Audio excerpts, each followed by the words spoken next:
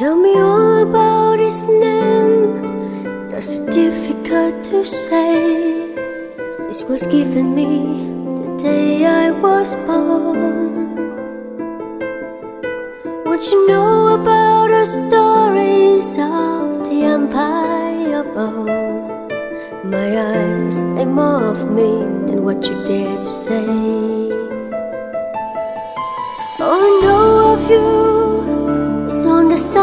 Qua of world.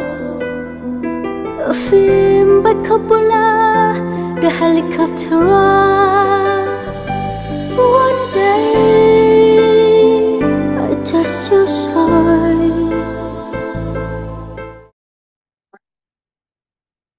Ờ, xin chào các bạn nhé. Hôm nay ờ, tiếp tục là uh, quay video hướng dẫn bài giảng liên quan đến um, kiến trúc mạng doanh nghiệp, à, phân tích những cái ưu nhược điểm của các mô hình kết nối mạng doanh nghiệp từ một cái mô hình cơ bản đến mô hình uh, mô, mô hình cơ bản truyền thống, phân tích ưu nhược điểm của nó. Và chúng ta cần phải tối ưu ờ, xây dựng nên cái mô hình mới à, phù hợp với cái nhu cầu thực tế của doanh nghiệp làm sao để công tác quản trị vận hành tối ưu và xử lý sự cố một cách đơn giản nhất.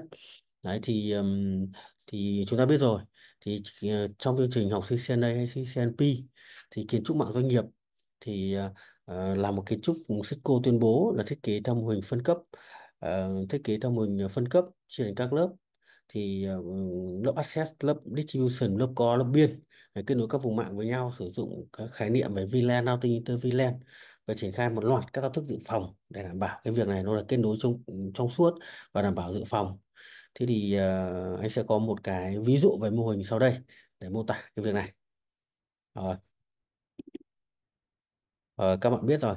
Thì các bạn học chương trình CCNA ờ, thì anh đã dạy các bạn um, cái bài lab này bài lab final. Thì bây giờ chúng ta quan tâm với góc bên trái thôi. Ờ, phía góc này à, phía góc này. Đây là một cái mô hình mạng doanh nghiệp ừ, mô hình mạng doanh nghiệp điển hình. Ờ, được thiết kế những cái version đầu tiên. Đấy, version đầu tiên của Cisco nó tuyên bố. Đấy, đầu tiên nhé khi khi khi khi thiết kế các bạn để ý rằng là à, trong một hệ thống hệ thống mạng doanh nghiệp ấy thì nó sẽ gồm các thành phần như sau. Các bạn hình dung là mạng campus ấy, là một cái tòa nhà. Đấy, một tòa một tòa nhà để cho một tòa nhà văn phòng ấy. Đấy, một tòa nhà văn phòng một công ty một tập đoàn với số lượng người lớn của chung một tòa tòa nhà. Thế trong đó nó sẽ có những cái nhu cầu phát sinh như sau. Một là nhu cầu người ta ngồi kết nối internet với số lượng người người 500 đến 1.000 người. Cái thứ hai là trong cái công ty, trong cái doanh nghiệp đó, trong cái tập đoàn đó, người ta triển khai các dịch vụ nội bộ, ví dụ các dịch vụ email, dịch vụ FTP dịch vụ DCP dịch vụ DNS hay là những cái dịch vụ ứng dụng nội bộ ừ, local của cái doanh nghiệp đó khi mà công nghệ cloud chưa phát triển công nghệ về các trung tâm dữ liệu nó chưa chưa chưa phát triển thì xu hướng ngày xưa ấy, thì mỗi một tòa nhà mỗi một công ty một doanh nghiệp đều xây cho mình riêng một cái trung tâm dữ liệu cái người ta gọi là phòng máy ấy, đặt các máy chủ ở đó. Thế thì để thiết kế hệ, hệ thống mạng đó ấy, thì người ta cũng cũng cũng cũng build ừ, build dựa trên các block như sau. Thứ nhất nhé đấy, đầu tiên nhé, phần phân phân mạng này là phân mạng ờ, mạng ờ, Ờ, phân mạng người phân mạng người dùng. User đây các bạn thấy đang là gì đây? Cái phân mạng này là phân mạng phân mạng à, à phân mạng người dùng user. Thì nó sẽ gồm là các thiết bị switch access switch access tức là mỗi một cái à, à, mỗi một cái cái cái cái cái tầng của một tòa nhà người ta sẽ đặt các người dùng người sẽ ngồi ví dụ tòa nhà 50 tầng 20 tầng thì mỗi tầng đều có nhân viên làm việc. Thì mỗi một đầu tầng của tòa nhà sẽ đặt các thiết bị siêu xét siêu xét là các suite layer 2 à, ngày xưa của Cisco là suite 2960 à, vân vân. Hoặc là 3 năm à, hoặc là các suite bây giờ là 9200 Cisco Catalyst vân vân. Tóm lại là suite 24 cổng hoặc 48 cổng đồng. À, người ta sẽ dẫn qua cái bạt panel để dẫn rồi vào từng cái chân bàn làm việc của người người dùng. Người ta sẽ cắm dây mạng cắm laptop cắm PC vào đây rồi và kết nối giữa set. Thì tùy vào nhu cầu một, suite hay hai suite 48 cổng hoặc 24 cổng. Đấy thì là phần down downlink vậy là suite set là cái khối set này bao gồm có suite set thì cần nhất với người sử dụng. Nó cung cấp giao diện trực tiếp với người sử dụng. Ok chưa? Rồi tiếp theo là cái lớp asset đó, nó sẽ kết nối ra ngoài. Cái cái kết nối lên lên lên lên lên lên lớp uplink ở phía trên. Thì um, 20 tầng thì mỗi tầng là một đến hai con switch asset. Thì thì thì đặt giải rác ở các tầng của một tòa nhà như vậy thì nó sẽ gom lại gom lại ở lớp distribution. Gom lại ở lớp distribution. Lớp distribution là các switch layer 3 có khả năng định tuyến. Em hiểu chưa? Là là switch layer 3 có khả năng định tuyến định tuyến có khả năng định tuyến chuyển mạch thiết lập policy. Người ta sẽ có một gom một gọi lớp lớp distribution. Di- di- distribution để gom toàn bộ lớp lớp lớp asset mạng có dây hoặc là các wireless controller mạng không dây. Đấy, đều cấp nối distribution và cung cấp các cổng giao diện lớp asset là các cổng quang. Đấy, đây là bài lab cho anh là nó là sử dụng cổng Ethernet nhưng thực tế nó sẽ dùng các cổng quang. Gigabit Internet gigabit Internet tốc độ 10 g vì sao cổng quang? Vì nó có thể truyền đi xa tốc độ băng thông lớn kết nối với các tầng của tòa nhà. Thế thì trong phòng máy ấy, thì người ta sẽ đặt những cái thiết bị co này này là trong phòng máy em hiểu không? Đấy những những những những những, những thiết bị co này này người ta sẽ đặt ở trong phòng máy. Ở đây người ta sẽ đặt ở trong phòng máy. Ờ, trong phòng máy trong các trung tâm dữ liệu của tòa nhà đấy nó sẽ có phòng máy. Người ta gọi là phòng máy thì đúng hơn có nhiệt độ độ ẩm đo độ ẩm hệ thống điện hệ thống phòng cháy cháy vân vân. Đấy, đó là các thiết bị về uh, đó là các các các các thiết bị về về, về thiết bị co. Rồi đây là khối này toàn bộ lưu lượng người dùng sẽ kết nối vào khối này. Và khối distribution này bây giờ nó sẽ kết nối lên thiết bị co. Thiết bị co là thiết bị chuyển mạch trung tâm nó kết nối toàn mạng tại sao nó phải sinh ra thiết bị co? Thiết bị co để kết nối cái lớp lưu lượng của người của người dùng cái kết nối cặp switch distribution này. Em hiểu chưa? Cặp switch distribution này. Rồi tiếp theo nó kết nối tiếp theo với cái cụm với cái cụm ấy, với cái cụm mà đây với cụm này. Đấy, cái cụm này là cái cụm khối kết nối phần server farm. Đấy, nội bộ trong một cái doanh nghiệp người ta sẽ có một cái cụm server. Đấy, người ta có thể là web server, DNS server, DHCP server ngoài ra các server khác người ta đặt một cụm riêng có hệ thống kết nối riêng. Đấy, thì bây giờ cái cụm này là cụm server. Đấy, server. Và nó có, có một cặp switch kết nối vào server. Tại sao? Nó là cặp tất cả đều đảm bảo dự phòng. Thì lớp core sinh ra để nối nối cái phần này gì? Nối cái phần distribution vào đây.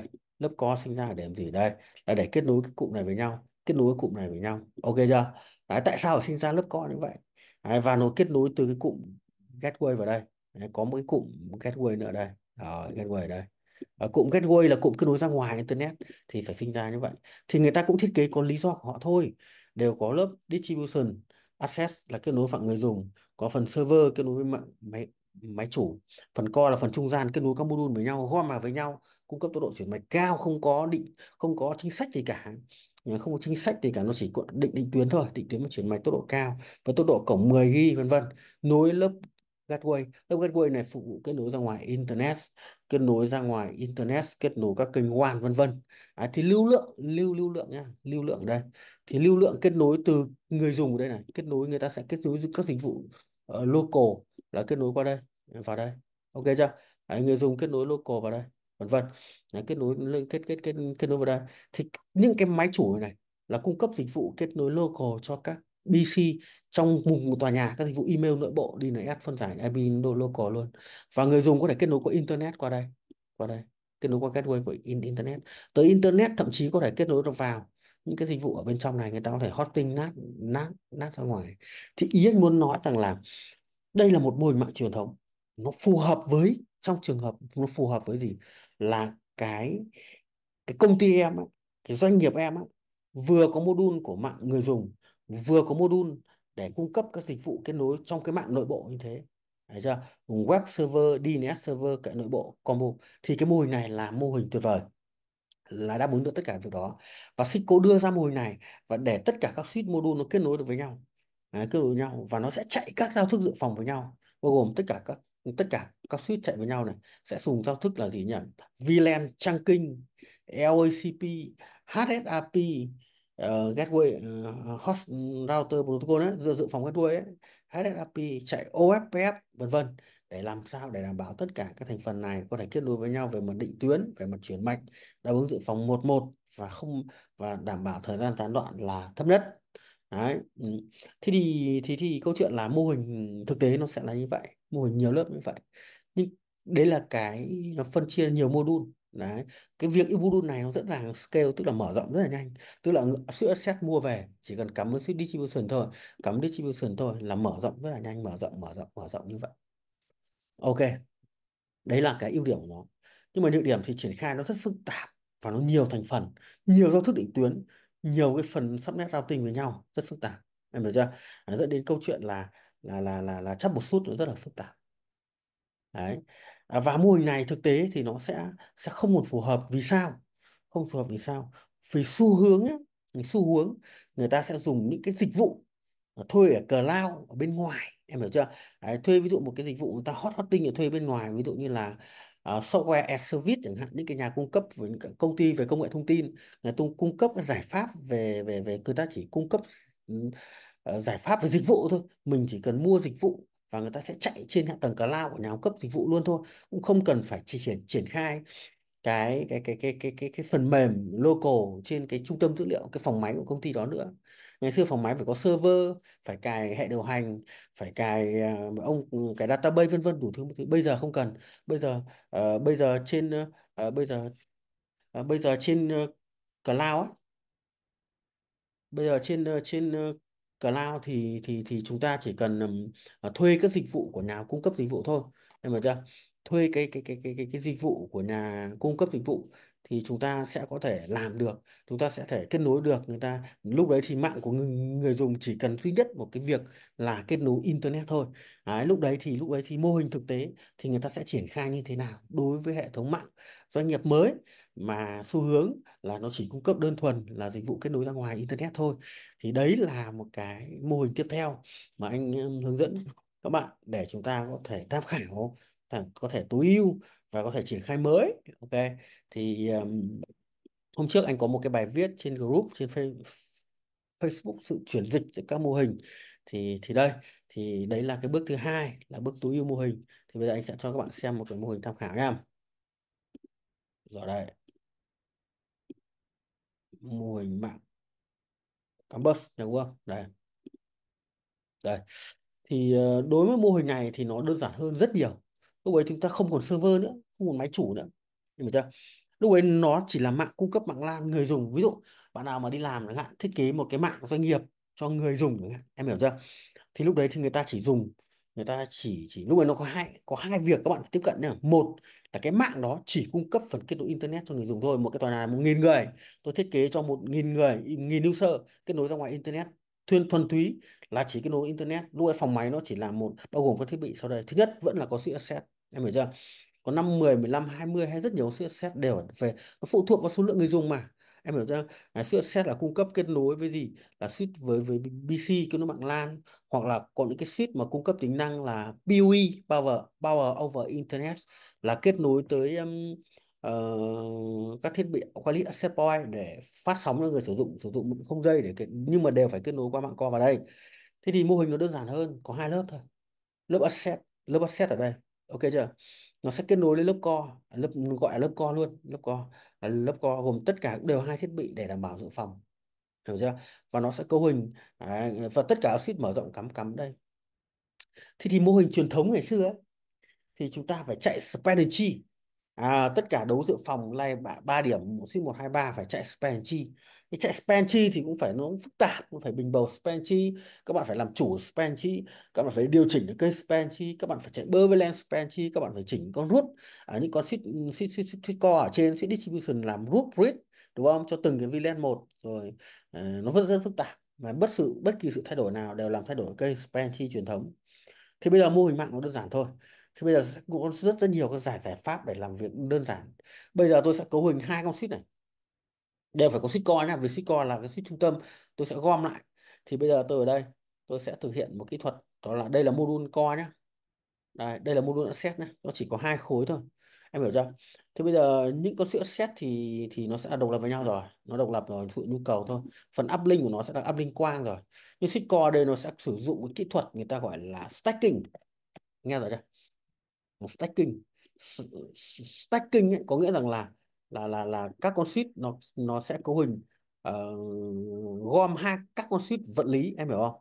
Đấy, gom các con suýt vật lý thành một con suýt ừ, gom các con suýt vật lý thành một con suýt logic với nhau. Đấy, các con suýt vật lý thành một uh, uh, thành một con suýt uh, logic với nhau. Rồi lúc đấy thì năng lực của con suýt lúc ấy ừ, lúc ấy năng lực của của của con suýt nhá thì nó sẽ là gấp đôi và con nó sẽ nối với nhau qua cáp stack.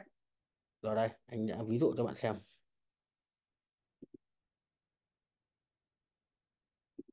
Đấy, ví dụ đây các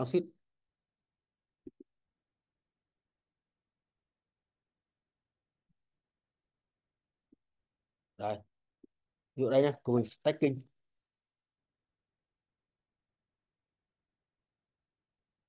Đấy, các bạn thấy chưa? Đây là tất cả các con suýt vật lý đây. Đấy. các suýt vật lý, ví dụ những con suýt đấy là một, hai, ba, bốn con suýt.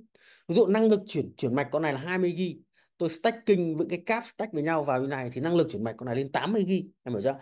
Và mỗi một con này, bốn suýt stacking với nhau ở đây. Đấy, đây bốn bốn suýt. Mỗi một con là 24 cổng thì bốn con nhân lên là 90 96 cổng vậy về mặt logic tôi chỉ nhìn một con suýt là 96 cổng thôi hiểu chưa? Thì nó rất là nó nó nó rất là tối ưu phía phía phía đằng sau nhá. Đấy lúc đấy tôi cấu hình tôi chỉ có cấu hình trên một suite thôi.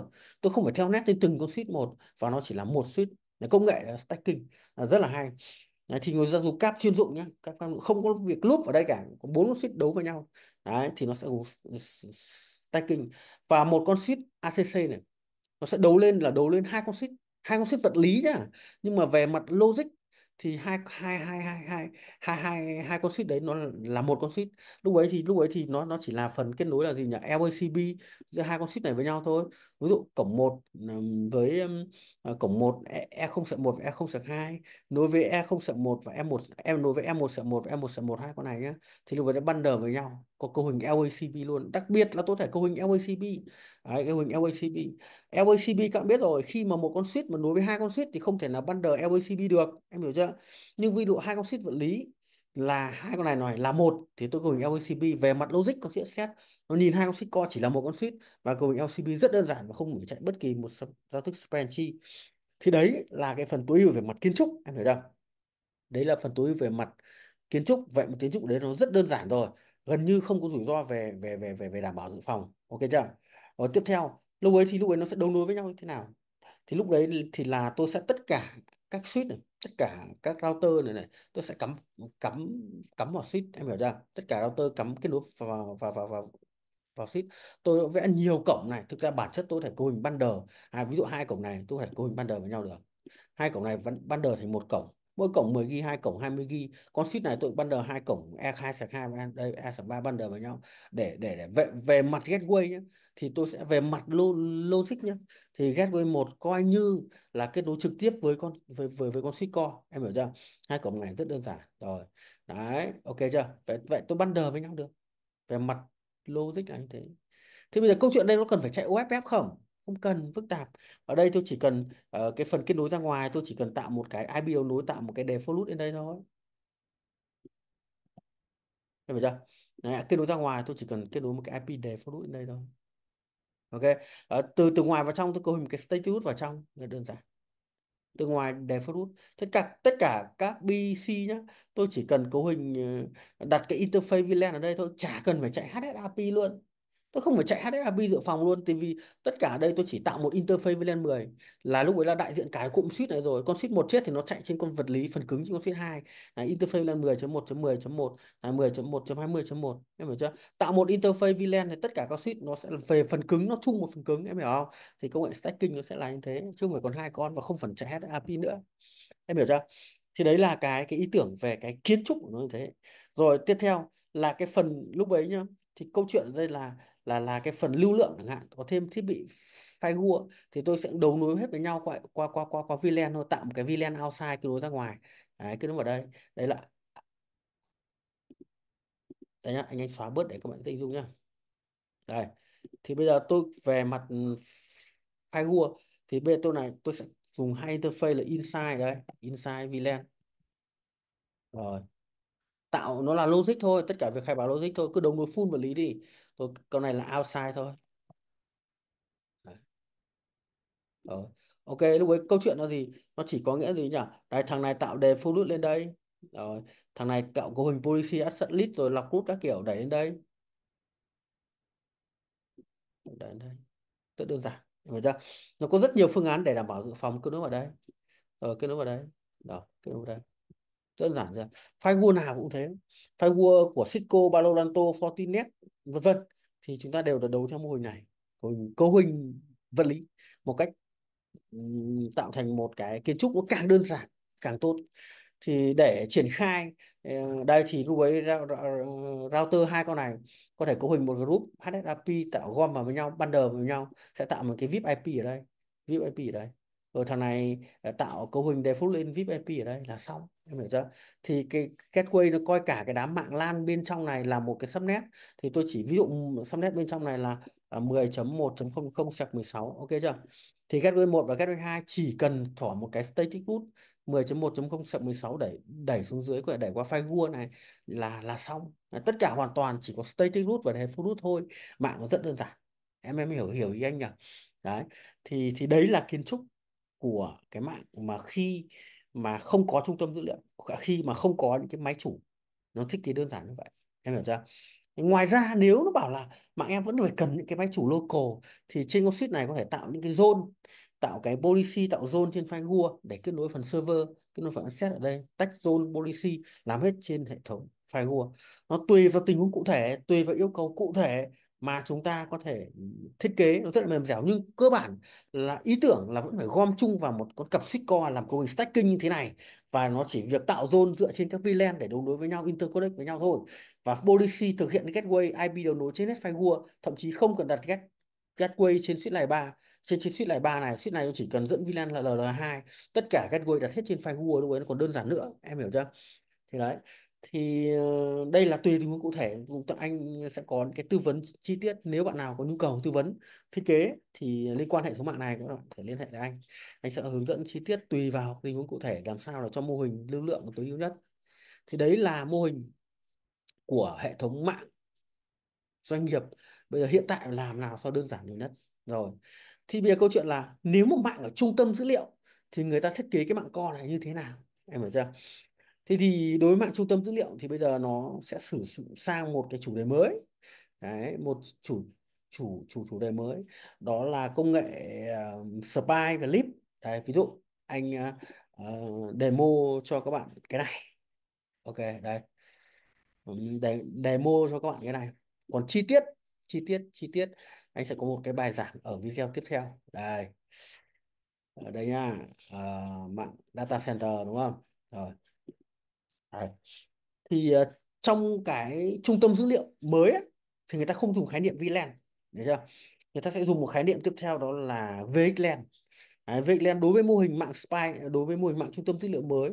Cái phần kết nối giữa các giữa các giữa các thành phần với nhau ấy, nó không phải là dùng VLAN đốt ăn queue không phải nó sẽ dùng uh, tất cả thiết bị này là nó sẽ kết nối bao gồm các thành phần nó gồm hai lớp thôi. Spy và lip đó là các switch layer 3 nó định tuyến tham gia định tham gia định tuyến với nhau và mỗi một sức layer ba đều có địa chỉ IP cấu đấu nối đều tham gia định tuyến với nhau. Và khi các thiết bị định định tuyến với nhau rồi nó sẽ thiết lập một cái đường hầm định tuyến. Nó sẽ thiết lập một cái đường hầm người ta gọi là là là là là là ờ, uh, uh, ờ, EVPN đấy một đường hầm. Và lúc đấy thì phần kết nối giữa các đường hầm này là là kết nối trong suốt layer hai. Đấy, layer hai. Và mỗi đường hầm này nó sẽ định nghĩa uh, bởi một khái niệm là VNI Đấy, sau này chúng ta sẽ học đó là khái niệm là VLAN nó khác với VLAN anh nào? Mục tiêu của cái thằng này các bạn biết rồi. Khi mà sử dụng VLAN ấy khi mà sử dụng VLAN các bạn biết rồi VLAN thì nó có 12 bit thôi. 12 bit VLAN nó có 4094 VLAN thôi. Khi mà ở trong mạng chủ khi mà ở trong mạng ấy mà mỗi một khi trong trung tâm dữ liệu mà khi mà trong trung trung trung trung trung tâm dữ liệu nếu mà chạy VLAN nó xảy ra xảy ra rất nhiều các bài toán rất nhiều các bài toán. Bài toán về span tree ok. Bài toán span tree gồm phân lớp thì người ta cũng giải quyết bằng cách người ta không chạy span chi nữa, người ta chạy stacking như anh anh vừa nói ở cái mô hình trước, chạy stacking tạo một cặp switch cấu hình cấu hình ờ, stacking như vậy với nhau. Nhưng mà stacking và cứ khai VLAN như vậy thì số lượng VLAN nó bị cạn kiệt. 4094 VLAN thì mỗi một khách hàng người ta dùng VLAN thì trung tâm trung tâm dữ liệu là nơi người ta cho thuê đặt máy chủ, có đường kết nối mạng cận rất cao và số lượng khách hàng rất lớn. Thì những cái VLAN đấy người ta sẽ không đáp ứng được với cái số lượng nhiều như vậy thì người ta không đáp ứng được 4094 khách hàng, nhiều hơn như thế. Thì dẫn đến là cạn kiệt về tài nguyên kết nối.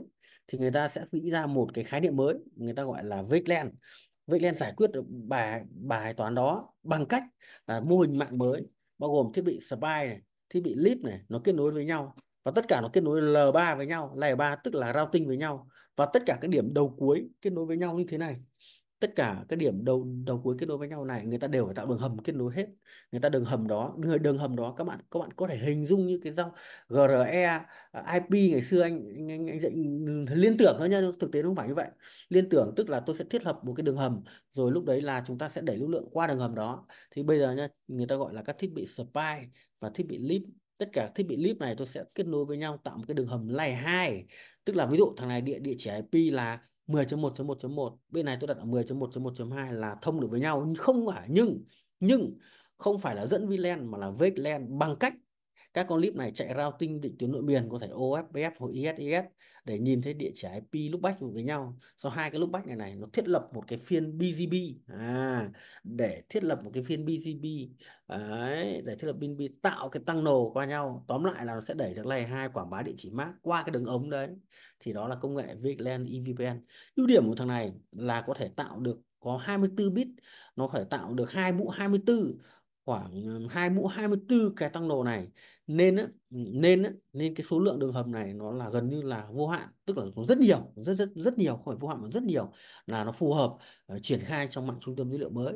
Thì cái bài giảng chi tiết về uh, về cái công nghệ VLAN EVPN trong mạng trung tâm dữ liệu mới nó sẽ nằm trong chương trình um, trong một cái video clip sau anh sẽ tìm hiểu cái kiến trúc mạng ờ, cái giao thức VLAN này bao gồm các trường gì uh, cấu hình thiết lập cái tăng nồ đấy như thế nào và ứng dụng cho mạng trung tâm dữ liệu mới cái lưu lượng như thế nào. Đây là anh ví dụ mô hình vận chuyển mạch thôi nhá spine và leaf thôi nhá. Còn có kết nối các thành phần khác uh, ví dụ như là là là là, là firewall router kết nối vào định tuyến như thế nào các mô hình triển khai thực tế như nào. Thì buổi sau anh ở cái video video phía sau Ờ, video lần sau anh sẽ mô tả để chi tiết hơn. Đấy thì đó là một cái công nghệ mới để triển khai trên các trung tâm dữ liệu. Trung tâm dữ liệu là những cái IDC của các nhà mạng á thì người ta sẽ trong cái mạng co đó người ta sẽ triển khai cái mô hình này. Thì cũng có rất nhiều hãng cung cấp các giải pháp về V, V, VLAN, EVPN ví dụ như Cisco có có công nghệ là Cisco ACI Juniper cũng có. Đấy, giải giải pháp Wakeland và khi khi cấu hình Wakeland này này người ta không có thể có hai giải pháp. Một là người ta sẽ triển khai cấu hình bằng command line Đấy, cấu hình bằng tay như chúng ta đã khai báo bình thường. Sau đó nếu mà giải pháp thứ hai người ta sẽ cấu hình bằng giải pháp là controller. Người ta sẽ dùng cái công nghệ mới à, công nghệ automation bằng cách là dùng cái controller chúng ta khai báo trên một cái thiết bị điều khiển. Người ta sẽ đẩy cấu hình đồng bộ trên toàn bộ thiết bị leaf và spy để khai báo rất là dễ. Em hiểu chưa?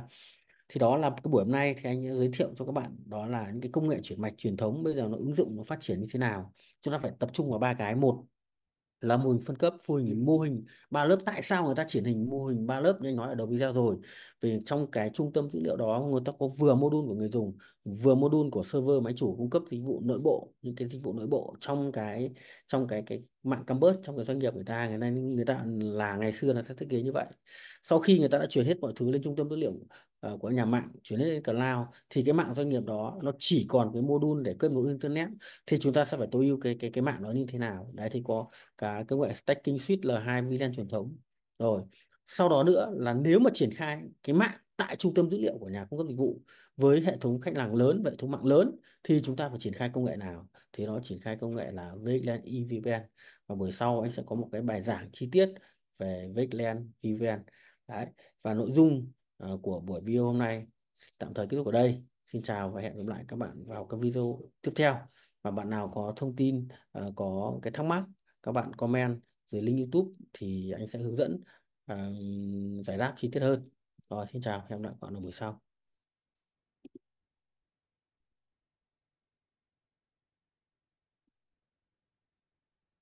Rồi, xin chào các bạn nhé. Hẹn gặp lại các bạn vào buổi